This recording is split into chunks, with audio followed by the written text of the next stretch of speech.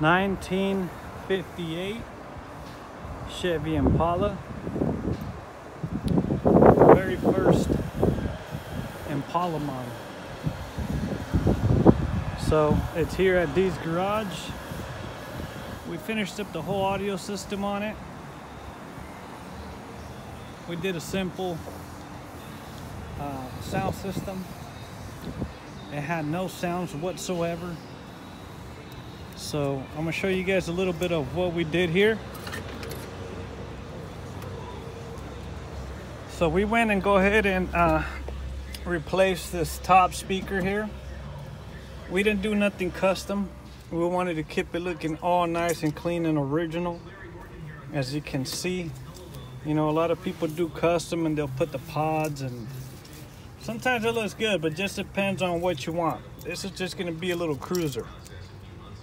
So we put the stereo hidden away right in here. Um, it's just on there. It's gonna hold pretty steady. It's not gonna go nowhere. This one has the Bluetooth. Excuse me. It's got the Bluetooth. It's got the USB to charge your phone. It's got an aux. Um, it's got all the nice features. Let me turn this on.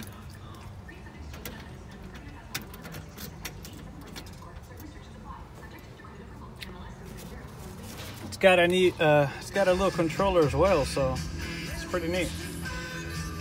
We did put the little bass knob right here. So let's hear it.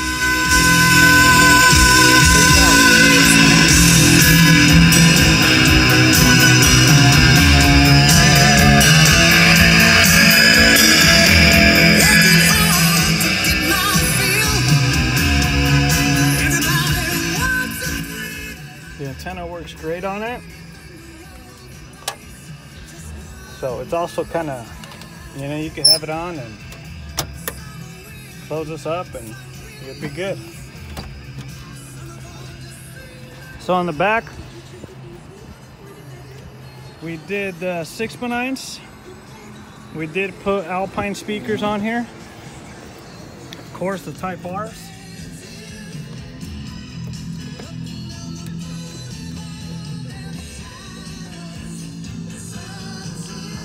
We did have to do uh, some cutting out here. So we put both of them. They're mounted on. They're pretty solid. They're not gonna go nowhere. So just with two six binds in the back, you know, you some people do the four. I like the two. I mean, it just depends on how loud you want to get. That sounds pretty decent to me. Shit. Come out here.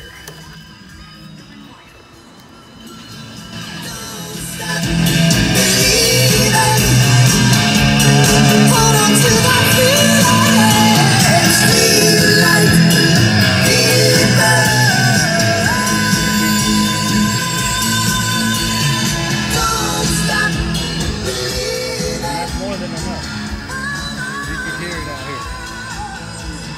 I mean, these have a hard body. So the subwoofer that we put in the back, it's kind of hard to hear that bass, You're inside 60 Minutes commercial. but it's there.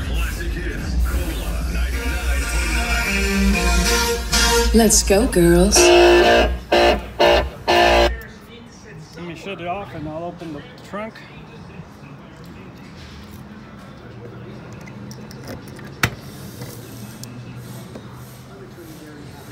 So that's the setup we did. Just two amplifiers, nothing too fancy, just some basic stuff, you know what I mean? Just to give it some nice tunes. We did put the 12 inch kicker sub in there.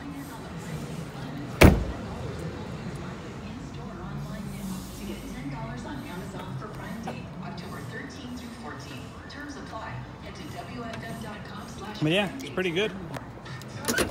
Make sure if you guys are interested in getting some type of audio done, contact us here at D's Garage.